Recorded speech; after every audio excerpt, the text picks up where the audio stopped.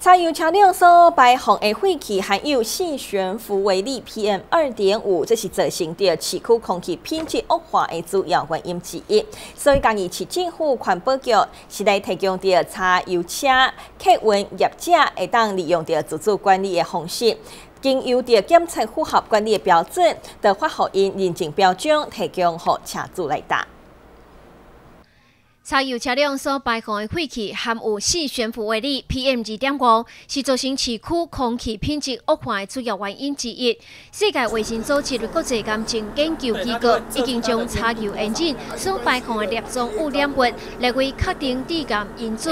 家己市政府环境保护局为了鼓励柴油车加入自主管理，主动到站参与自主管理的车辆，经过检测不合格的车辆未予以处分，只需要改善。完成了后复验，以求确实改善车辆排放污染的问题。在检测了后符合自主管理标准的车辆，也会根据管理标准发予标准，会当享有拄到路边客站快速放行的优惠。标准有效期限是一年。柴油车业者会当定期到各检测站进行检测了后换发，或者是延期证照。经过估计，如果每年有六百台柴油车参与自主管理，